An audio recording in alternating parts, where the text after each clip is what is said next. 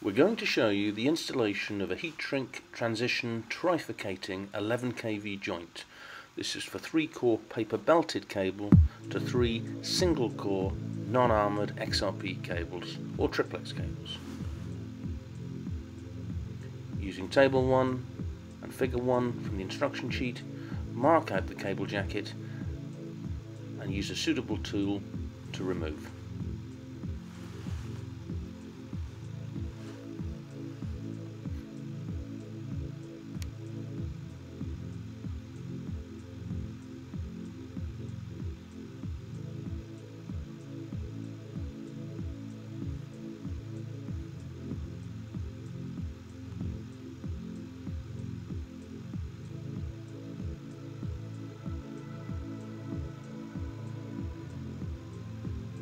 Mark the armour wires.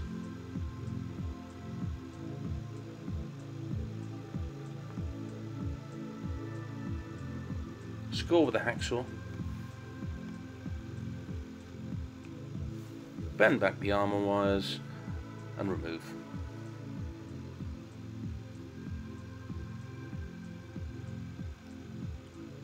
We now need to remove the Hessian tape layer so we'll bend back the armour wires so that we can remove the tape to reveal the lead sheath beneath.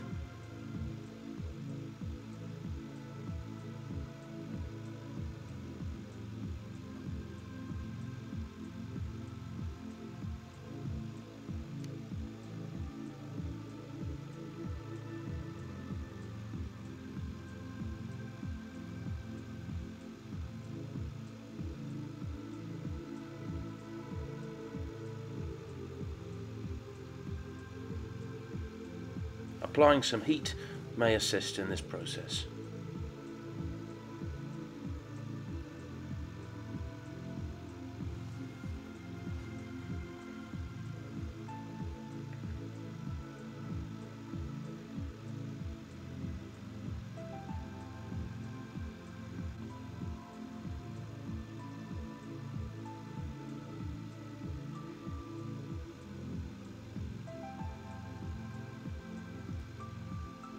Using some rags, remove the grease from the lead sheath.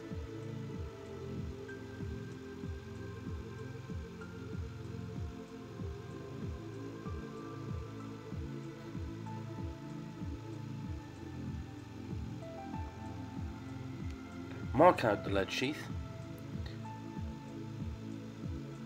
and using the tool cut through being careful not to damage the cores beneath.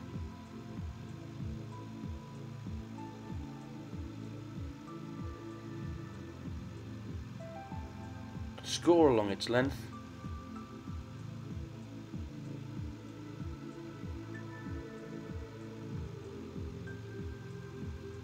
and peel back a strip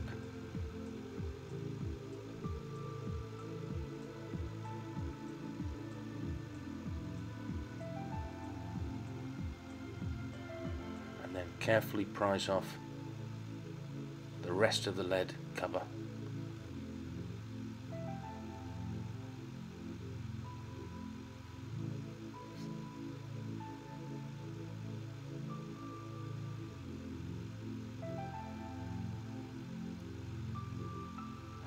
Mark out the carbon paper, apply a binder to the dimension shown,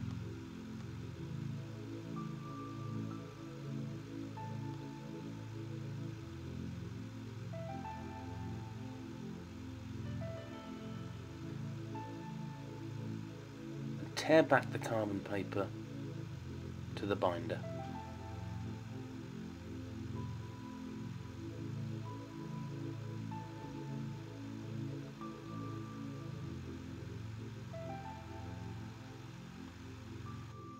Now make a mark on the belt papers and apply a further binder.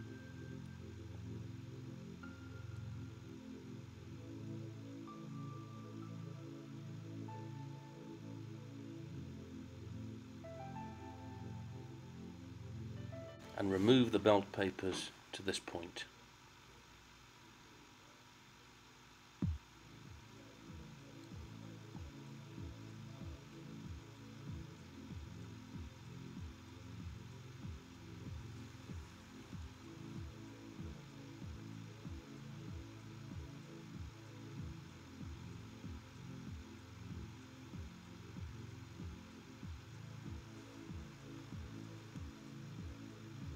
Remove the fillers.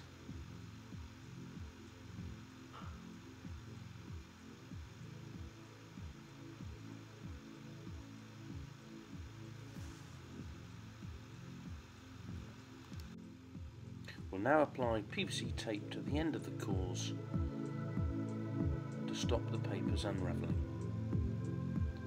Now we're going to fit the lead earth bond. So make a mark on the lead sheath, tightly apply a piece of copper mesh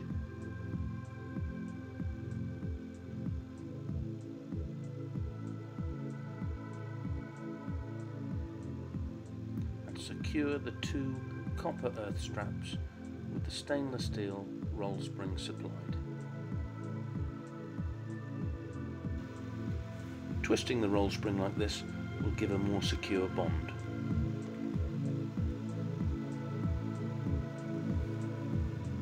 Now after removing the backing papers, apply some black mastic tape behind the roll spring up to the armour wires. Press the earth straps back onto the tape so that the solder blocks sit on top.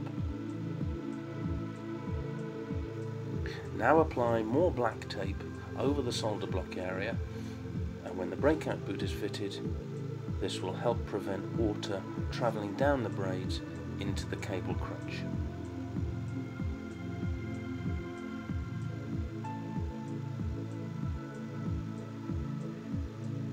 Now clean excess grease off the cores and carefully position the clear oil barrier tubes.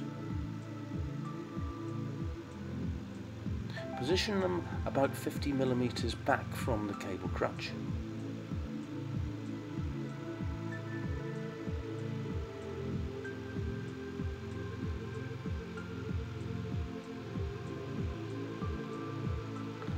Suitable heat source, shrink the bottom end of the clear barrier sleeves.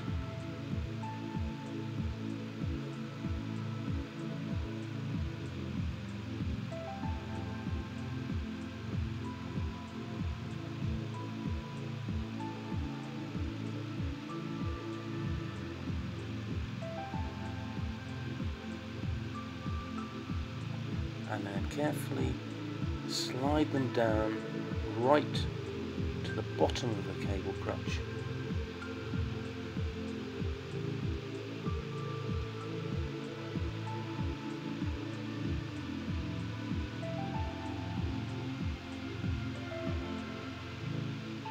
And then continue up the cores as shown. Keep the flame on the move to ensure clear sleeves are fully shrunk and wrinkle free.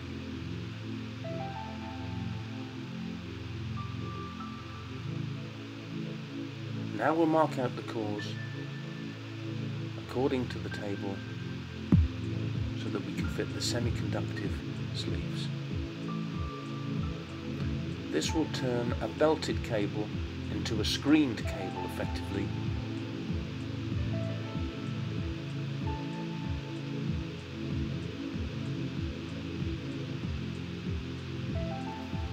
line up with the mark.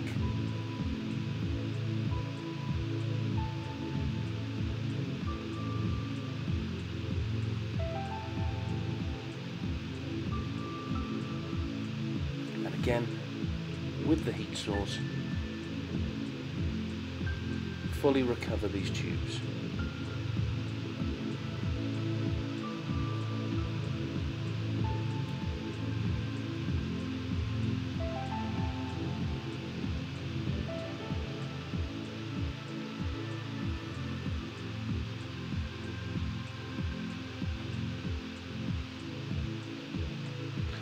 The tube should end up a little bit back from the clear sleeves previously fitted. Now with the aid of a little cable grease, insert the grey mastic crutch wedge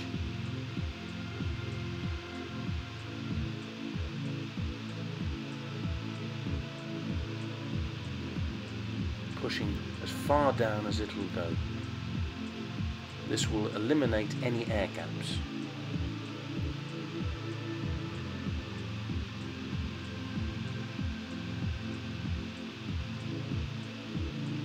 Make a small mark on the conductive sleeves. Remember to remove the previously applied binders. Stretch and apply the HV grey mastic tape.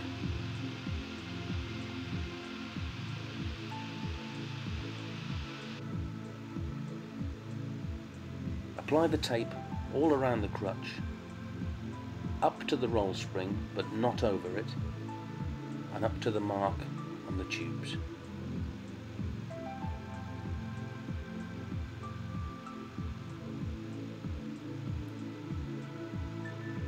We'll now fit the three-core semi-conductive breakout boot. Position this over the cores, pushing as far down as it will go. Start shrinking from the center of the boot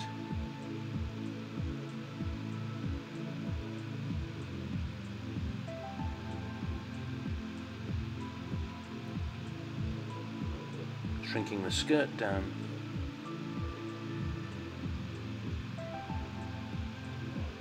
and then fingers to the cores.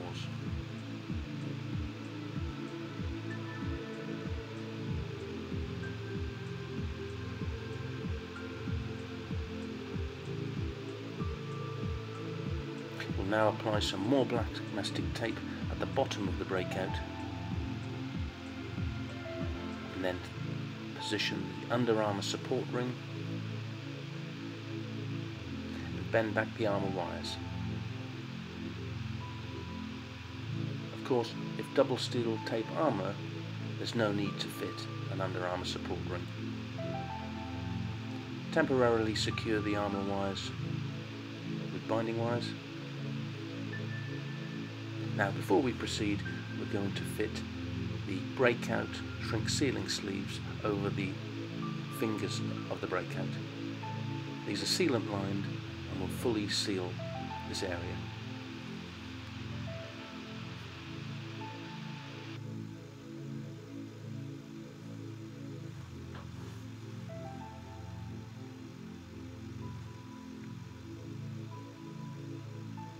Now we're going to move on to the single core cables. So we're just making a mark on the outer jacket.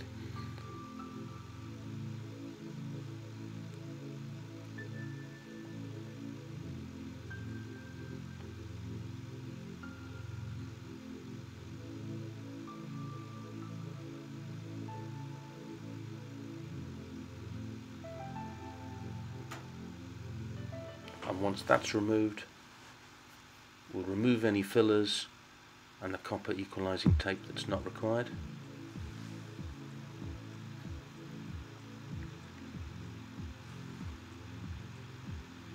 And in order that we can work on the cable, we'll bend back the copper screen wires out of the way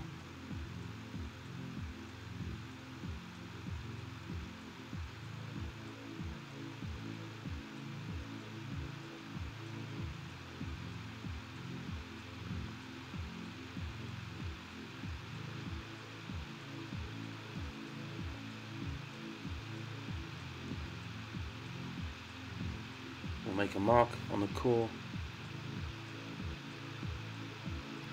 to remove any excess cable.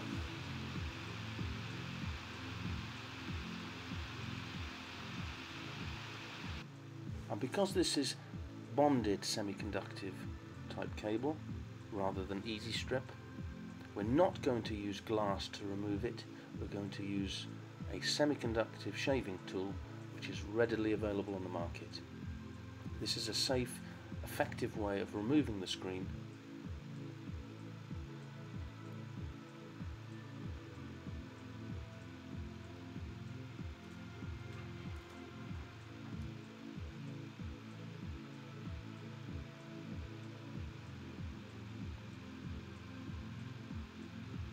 and produces a really nice tapered end to the semiconductive screen.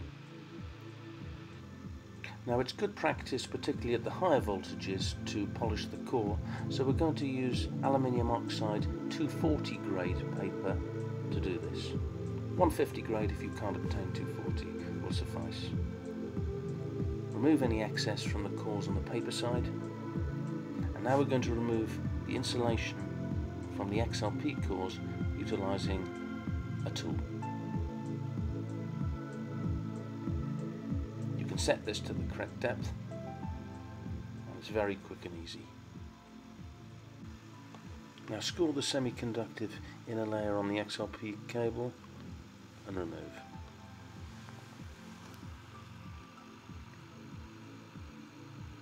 Make a mark on the paper core, cut around the core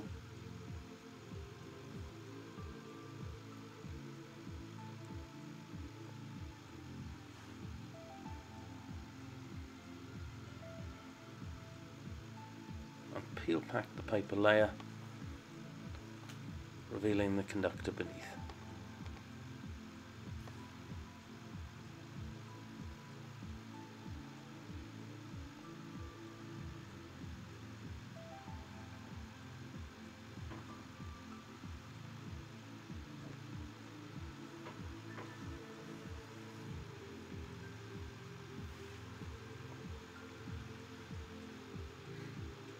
We're now going to apply the stress relief tape to the screen ends, so mark the position of the tape on the core.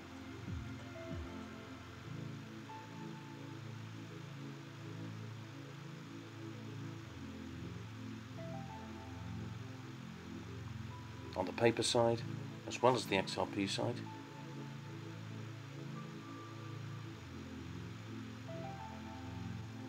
Then remove the backing paper from the stress relief tape.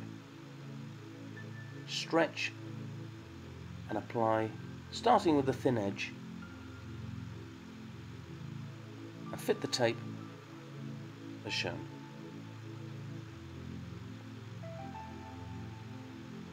It may not be necessary to use all the tape supplied in certain circumstances.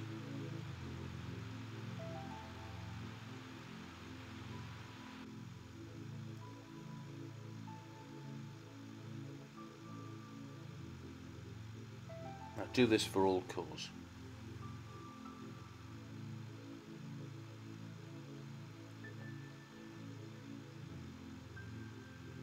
Next, we're going to fit the stress control tubes. Position these so that they overlap the screen ends and are about 5 millimeters back from the primary insulation.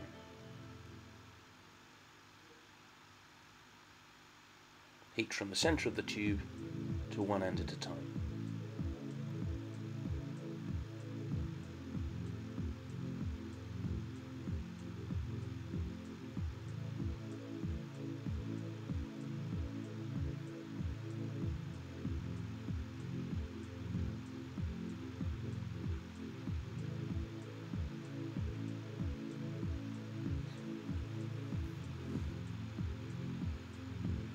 Now we'll do the same on the paper end.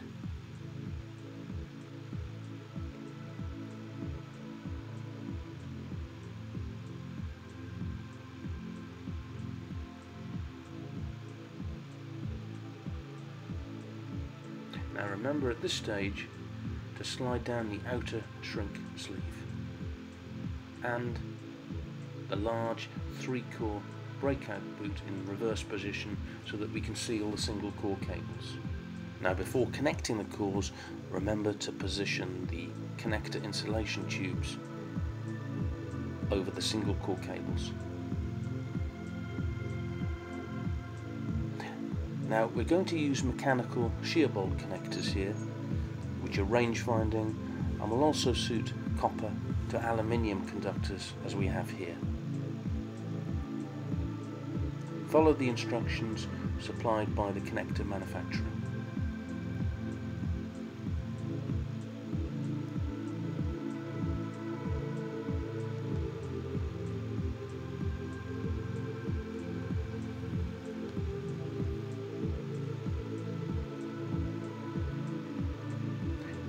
Use the grey HV mastic tape supplied to fill any gaps the bolts have sheared.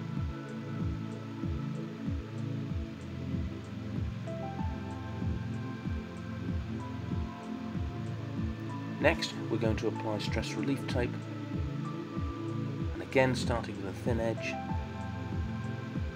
tape around the core, overlapping onto each side by 10 millimeters, and then across the connector. Stretch to about half its length and half width overlap.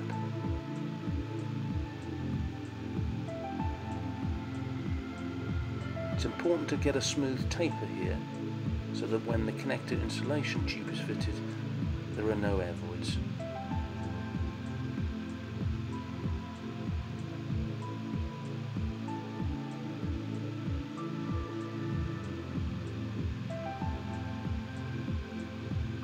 Now centrally position the connector insulation tube and you'll see that it covers the screen points shown below.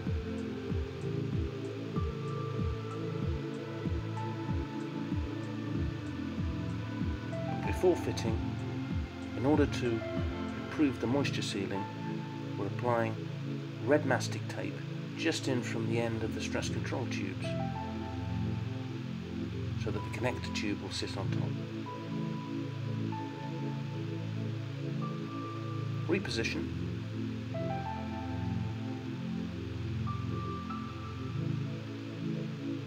And with your heat source, start from the center of the tube, keeping the flame moving all around to one end at a time.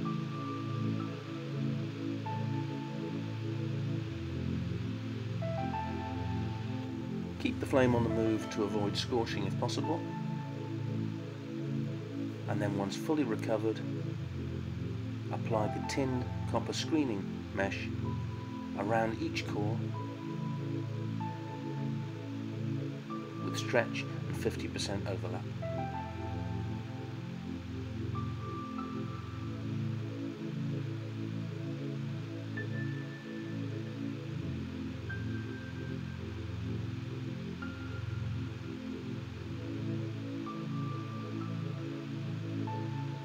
Then leave it over the armours to bond at a later stage.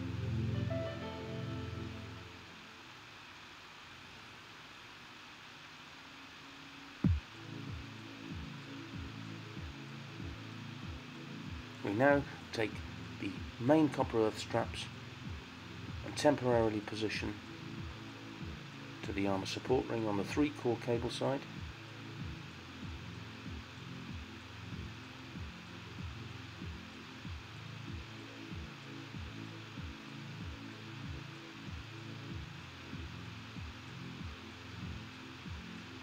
and then secure with the armour clamps provided along with the copper mesh. Tape around any sharp points.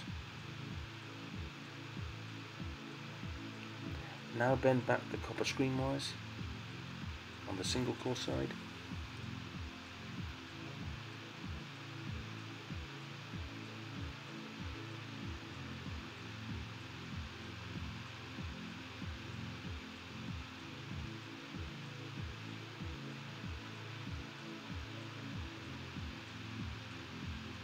we're going to bond these to the two main copper earth straps with the use of a low voltage mechanical connector.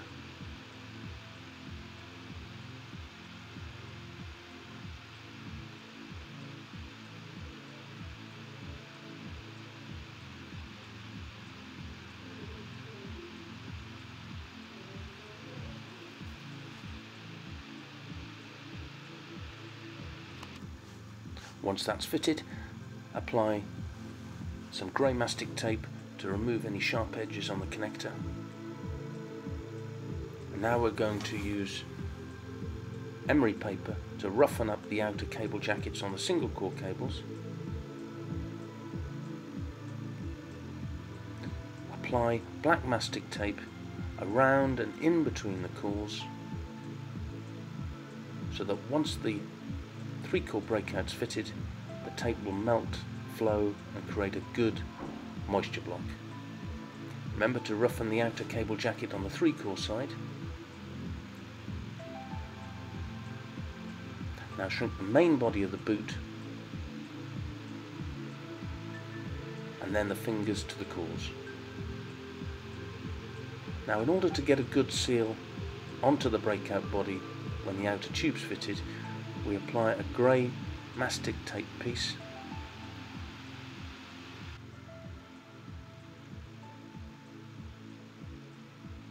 Try to keep the cores together in order to keep down the joint profile. You can use a spare piece of mesh to do this.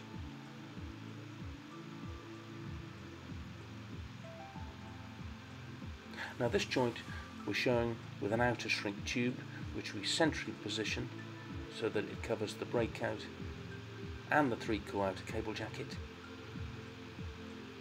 We're starting to shrink it from the centre to one end at a time.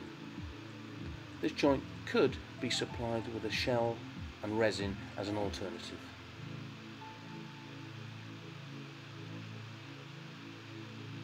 But a fully heat shrink version meets all the international standards for impact test and can be done in a vertical position as well as horizontal